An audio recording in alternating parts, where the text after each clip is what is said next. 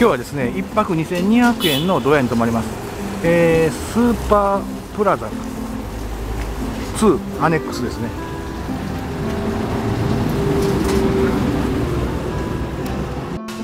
え、今ですね1泊2200円のドヤに来てます。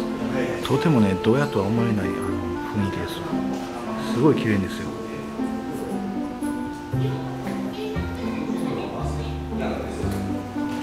はい、えー、今日はですね2200円のドヤに泊まります、えー、ホテルアネックス2です、えー、部屋の中ね、えー、3畳の畳の部屋になってますね。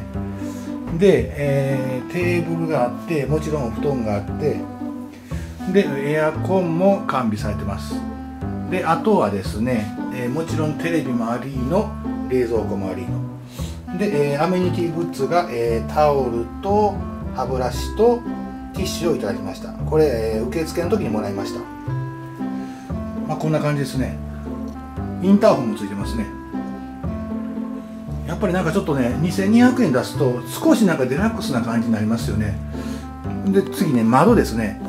この窓ですね、えー、大概だったら開けた時はドヤの部屋同士の向かい側の建物の、えー、建物なんですけども今回はどうなんでしょうね。ちょっと開けてみますね。まずカーテンを開けます。ち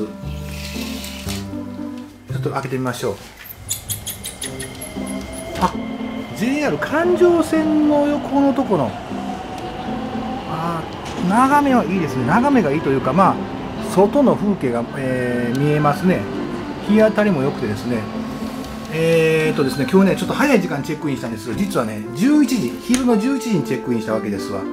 ここはあのあれなんですよ。チェックインがちょっと早くできるんであの結構いいですよ。でチェックアウトは10時なんで、まあ、賞味24時間ぐらい折れるっていうことなんでここに、えー、いながらですねここを拠点として飲み歩きができるなと、まあ、疲れたらまた戻ってきてちょっと、ね、休憩して寝れる寝れる？休憩してからまた行けるっていう感じで。これはね西成飲みには最適じゃないんでしょうかね。はいえー、どうやらねトイレですけどね。めちゃめちゃ綺麗ですよ。ウォシュレットが完備されてあって便座クリーナーもあってすごい綺麗です。衛生的ですね。